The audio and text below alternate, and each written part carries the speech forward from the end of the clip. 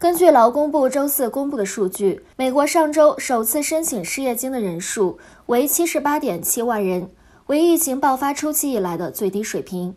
经济学家此前预期为八十七点五万人，这一数字比前一周经下修后的八十四点二万人减少了五点五万人。申请失业救济人数下降的一个原因是，已经不能再领取正常福利的工人转为申请大流行失业援助计划。这是一个针对个体经营者、零工和其他未享受传统失业福利的人的单独项目。除了整体失业数字大幅下降，持续申请失业救济的人数也出现大幅下降。至少连续两周申领救济金的人数减少了一百零二万人，至八百三十七万。这一趋势将保险失业率拉低了零点七个百分点，至百分之五点七。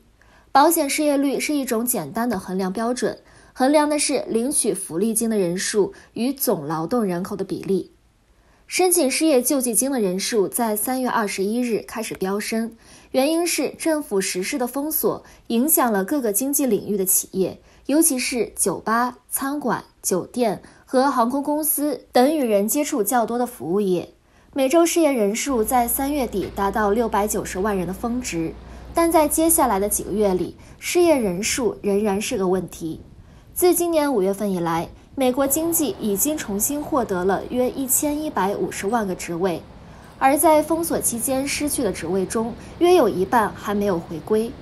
白宫和国会民主党人仍在就新一轮纾困计划进行讨论，旨在帮助那些仍然受到影响的人。然而，关键细节尚未得到解决。在选举日之前达成协议并不乐观。